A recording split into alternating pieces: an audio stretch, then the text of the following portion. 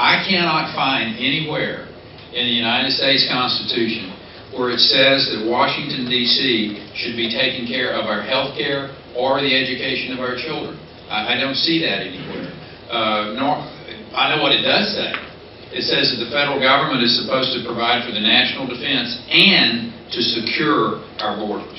And they have been abject failures in the latter part of that. We had a great military. Uh, the, the, I proudly served. Donna uh, was making me really feel old, and, and she said she was just barely born uh, in 1973 when I was going through pilot training at Webb Air Force Base in Big Spring, Texas, and her dad was stationed there.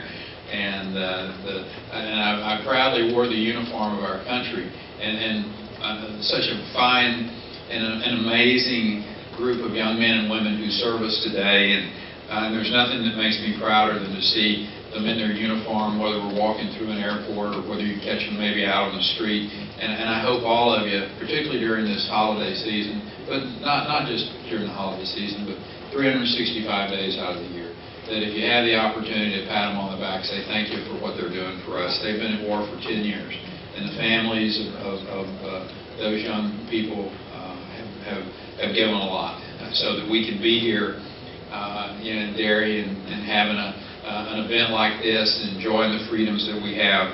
Um, and while our military serves with distinction uh, in, in their um, operations overseas, uh, Washington has failed to take the, uh, the most basic steps uh, in securing our border here in the United States. And, and, and I've been on the front lines of that fight, as Joe shared with you. For 10 years, we've been dealing with this issue, actually longer than 10 years, but um, over $400 million that we've expended in Texas taxpayer money, Texas Ranger recon teams.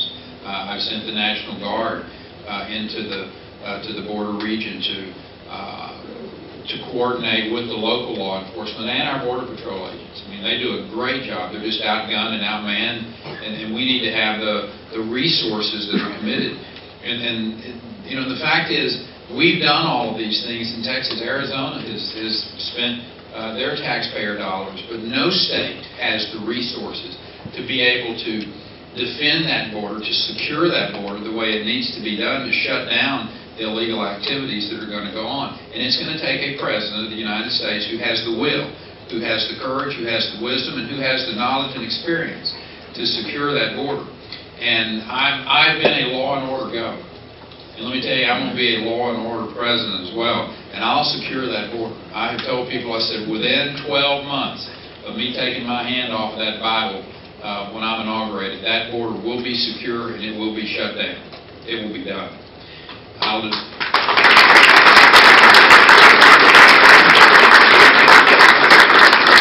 And it's really, as, as the sheriff knows, I mean, this is not a complex issue. This is a matter of having the resources available and deploying the resources appropriately. It's putting thousands of National Guard troops on the border until we train up the Border Patrol uh, to the numbers that we need so that they can full-time be uh, deployed along that border. It's about having the aviation assets available. Uh, we have uh, those technological advances in being able to look down and give real-time information, whether it's with our Predator drones or with the other aviation assets that we have available. It's just a matter of the President of the United States directing those agencies to put those resources on that border and enlist the technological tools that we have available. And you can, uh, with strategic fencing in those high uh, traffic areas, those, those multiple approaches you literally can build a virtual wall that will secure that border and stop the, uh, the illegal transport of weapons and of drugs and of individuals across that border.